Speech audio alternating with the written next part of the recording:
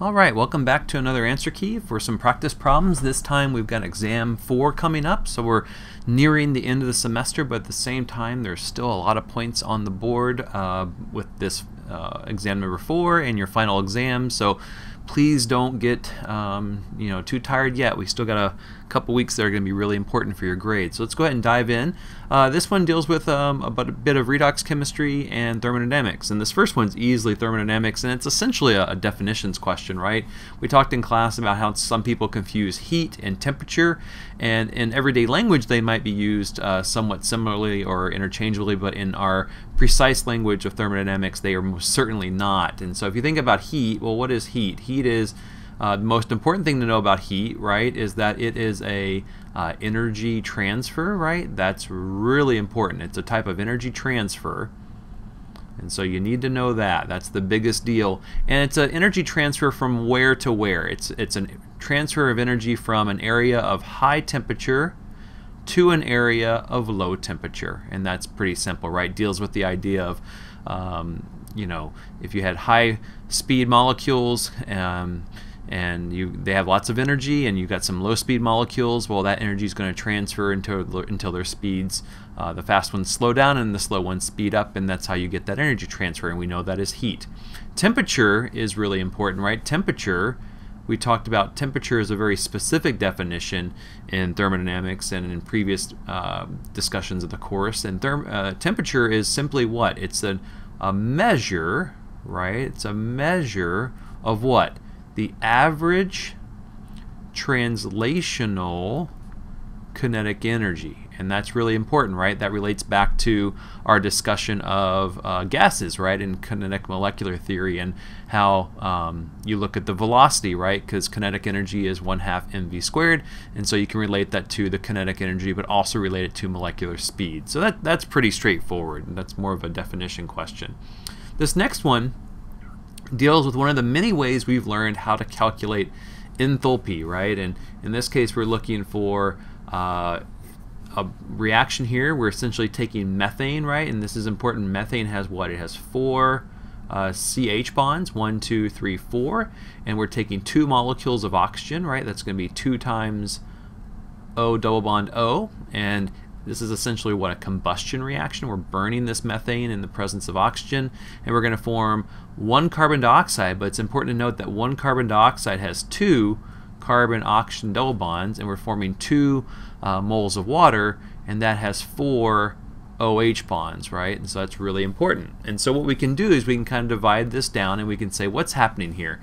Well, these bonds in the reactants, we can think of these bonds as being broken. So we're going to break these bonds. And remember, you have to put energy in to break a bond, right? It's hard work to rip a bond apart. Um, bonds are inherently um, somewhat stable, right? Or they wouldn't be formed. You wouldn't just have methane and oxygen floating around if these bonds weren't uh, low energy. And so we look at this and we can see, wow, there's a lot of bond energy locked up in these bonds. So in order to break them, we have to put in at least this much energy. So in this case, we've got four CH bonds, so we can say we have four moles, right? One, two, three, four. Four moles, or four bonds, however you want to say it, times what? Times that's going to be um, 413 kilojoules per mole. And to that, we're going to add, right, because we got to break those two 2 moles of the O2, of the O, the O double bond O, and that is 2 times 495, right? And make sure you can read the table. It's really easy to get misaligned there. And if I add those up, I get something like positive. And why is it positive? Because we have to put energy in to break those. We have to put energy in to break them apart. And I got something like 2642 kilojoules, right? And then over here, we're going to form these bonds. So we're going to form these bonds. And when you form bonds, energy is released. You get that much out. And so we have 2 moles of the CO, right? And we're going to say that's 799. That's a strong bond. We get a lot of energy out of that. And then we've got 4 moles of the OH. And we looked that up. That's, again, a pretty strong bond. And if you look at that, we've broken six bonds that are, you know, medium strength, and we've formed six bonds, one really strong, four medium. So it looks like we're going to get more out than we put in.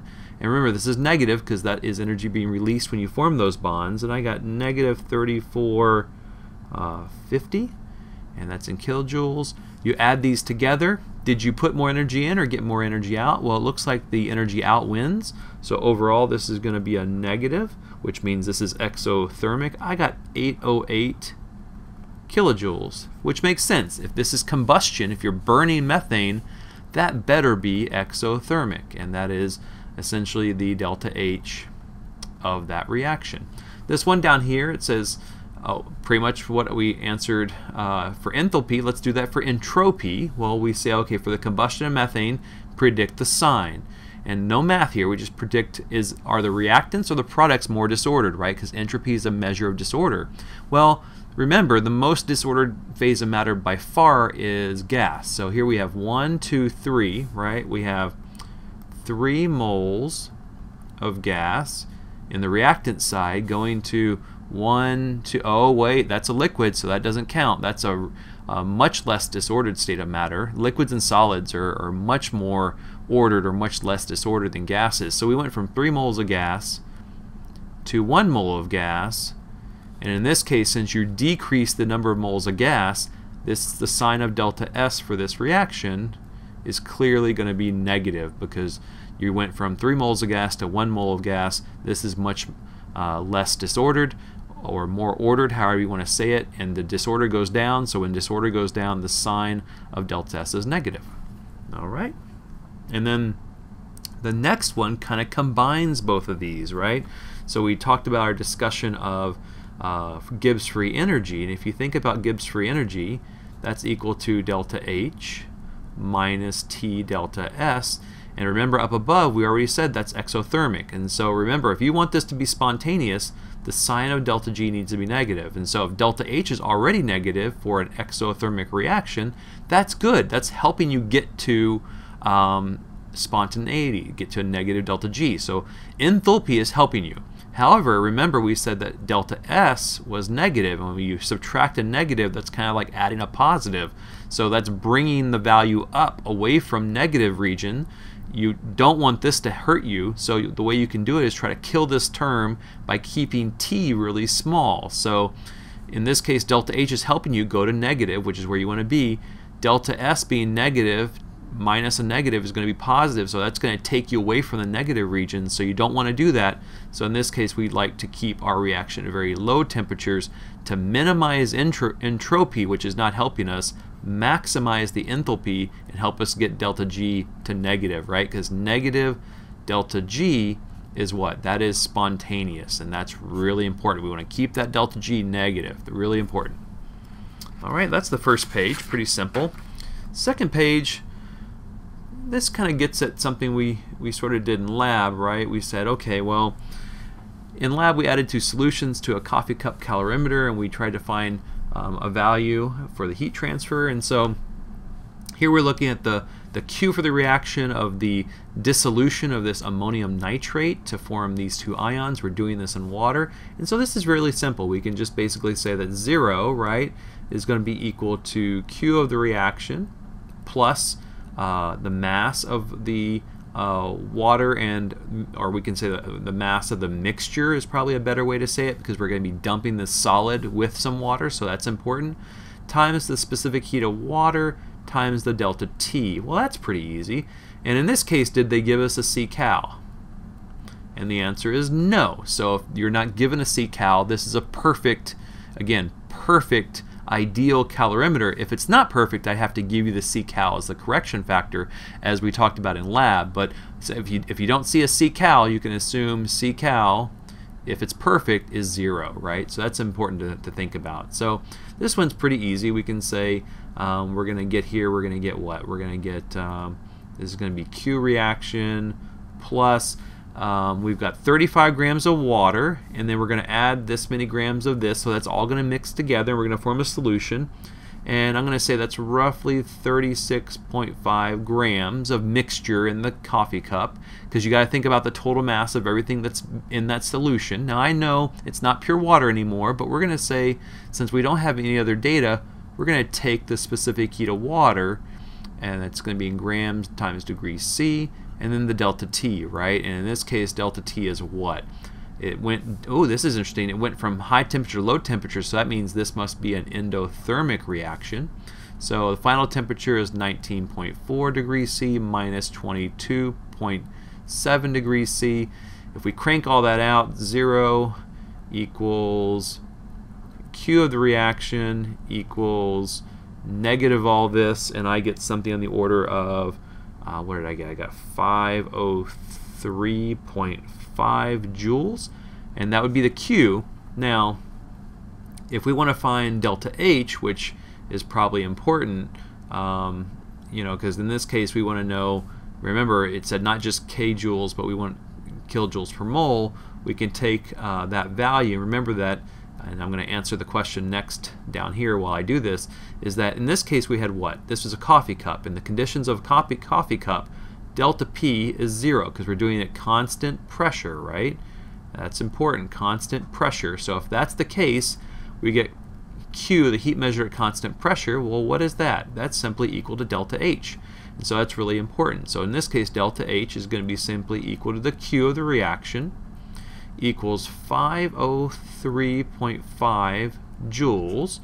And then we have to find the moles, right? Well, that's easy. You go back and you see that there's 1.505 grams of that compound all over.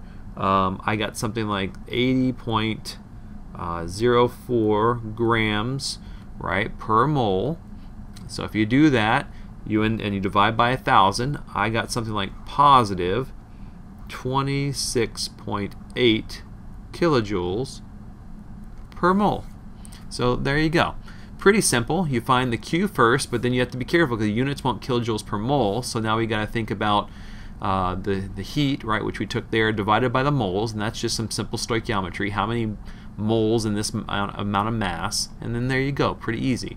Now we already talked about this. Is this a enthalpy change or internal energy change? Well, like I just said, the conditions are change in pressure equals zero, right? Again, constant pressure, and when you have the conditions of heat measured at constant pressure, that is equal to delta H for all the der derived reasons we talked about definitions of enthalpy versus en internal energy. And so you have to look back at your notes because I don't have 20 minutes to explain it here. But constant pressure Q is equal to delta H. Constant volume Q is equal to delta U. And you can go back to your notes for that.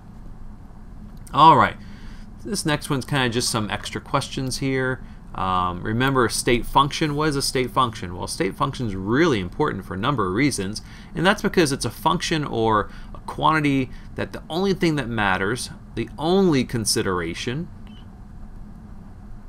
right? The only consideration is what? Nothing more than your final and your initial state. All you need to find is the delta, right? And delta of your function, right?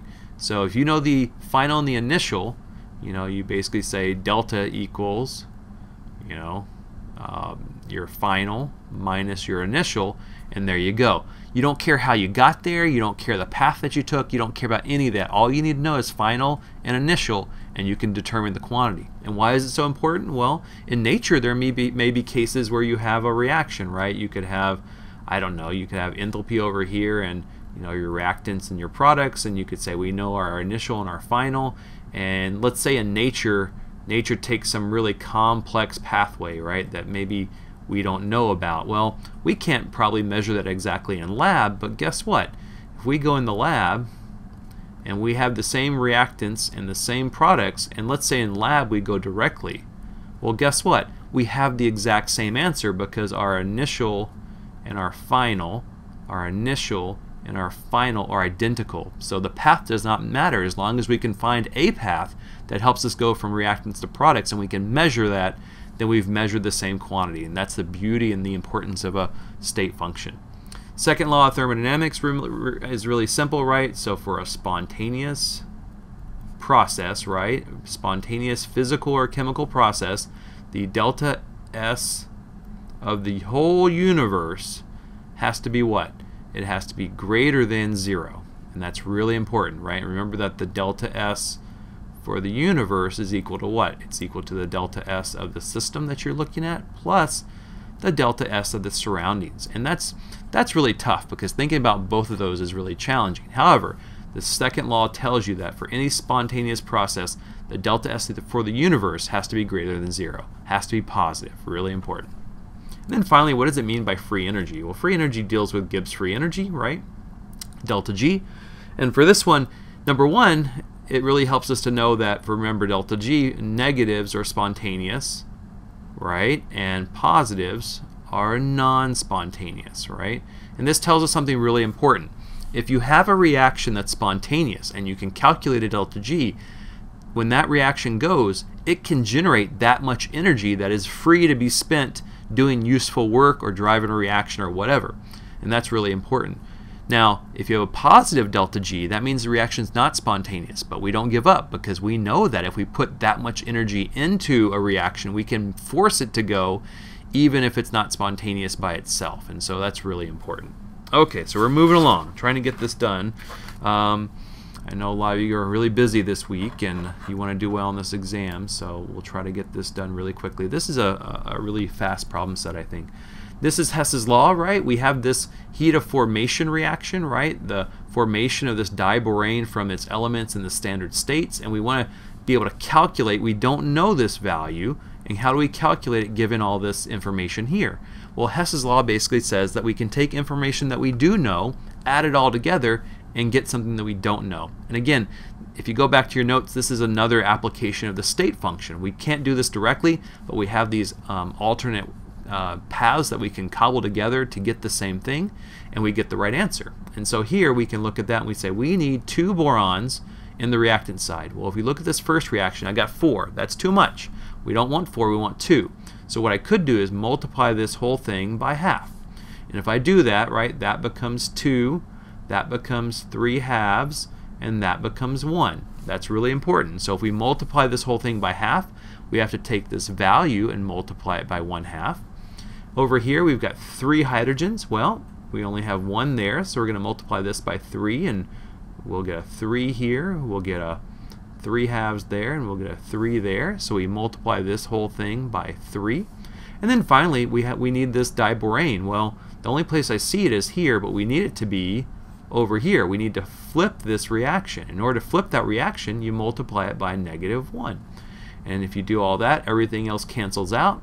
And we multiply this one by negative 1. If we add all this together, if you add all these together, right, add these together, you get the reaction that we want, which is really powerful. And if you add these all together, I get something like positive 35 kilojoules per mole of this diborane and there you go. Pretty simple. Now down here at the bottom, um, we've got an electrochemistry redox question or two, and this one's really kind of a fun one. I like this one. It says you're given these three different things, and you want to know which one can give you the highest possible voltage, the highest E cell value. Well, what you do is you just go to your table of redox potentials and you say, okay, well, um, which one is the the best oxidizing agent and the best reducing agent. And if you go through, uh, you can see here that the best pair that we could find would be copper and aluminum. And I'm going to let you go on your table of redox potentials and prove that to yourself. And if you want to find the E cell for that, it's pretty simple. It's going to be E uh, reduction minus E ox uh, or E cathode minus E anode, but I typically do it this way, which is easier for me to see. And then you're going to say for, I think it's copper, right? It's 34. That's going to be um, reduced minus, and just read it right off the table. Um, the aluminum, I think, is like negative of 166 volts. You add all, you minus both of, you take this one, subtract this one, and then finally, I think just by coincidence, you get a perfect 2.00 volts, which is kind of cool. But that's the biggest combination. You want to get the, the strongest oxidizer, the strongest reducing um, agent, and then boom, you're good. So prove that one to yourself if you're having a hard time and make sure you can get that answer. Last but not least, it's let's let's make a, a picture of what this would look like. And so I'm going to say, okay, well, I'm going to draw some electrodes, right? We need some electrodes to make this happen. My funky looking electrodes there. We got to have a little voltmeter, right, to measure this. And then probably just real quickly we can draw a little salt bridge. We know we're going to need that. Don't worry so much about the salt bridge. Oh, it's terrible. Uh, remember, the anode is what hap- is what where what happens. Well, oxidation happens to the anode. So in this case, the aluminum is going to be oxidized, and so we're going to get aluminum being oxidized to aluminum 3 plus, right? That's going to be aqueous plus 3 electrons. So if that's at the anode, we can say this is going to be the anode. And you're going to have oxidation going on there. This guy is going to be aluminum. We're going to make a solution, right? Um, a solution here, and we're going to have some aluminum 3 plus in there, right? That's important. And the electrons are going to always go from uh, change colors here just for sake of argument here. The electrons, right, are going to go from anode to cathode, and that's really important to remember that. And over here at the cathode, we're going to have copper 2 plus, right, being uh, reduced to uh, what? The copper 0, right? Copper solid. And so over here we can say this one is going to be copper we're going to have some solution, blah, blah, blah. And then the copper 2 plus is going to be in there. And I don't know, you could have some sodium perhaps and some nitrate in your uh, salt bridge there. Not too worried about it, but pretty simple. And if you, you multiply this guy by 2 and this guy by 3, you can get a least common multiple. So you create 6 electrons and, and absorb or consume 6 electrons. And the overall reaction when you add it together is going to be 2 aluminum solids plus, I believe, three uh, copper two pluses, and that's going to be aqueous going to what? That's going to give us two aluminum 3 plus aqueous, right? Plus what? It's going to be 3 copper um, solid. And when you do that, I think everything balances and you're in good shape. So um, I think that brings us to the end of this one. It's one of our quickest answer keys, so I hope it's very helpful. Um, you know, we had some good turnout the review session. I hope that was helpful, and uh, just work really hard. I know you guys are, are kind of stressed right now and going through a lot of, uh, you know, exams and projects and, and papers on the run-up to Thanksgiving break, but I think if you put the time in, you can be rewarded and, and make sure you, you understand all this stuff. And so it's really important. So uh, study hard, and I hope you can do really well. Take care. Bye bye.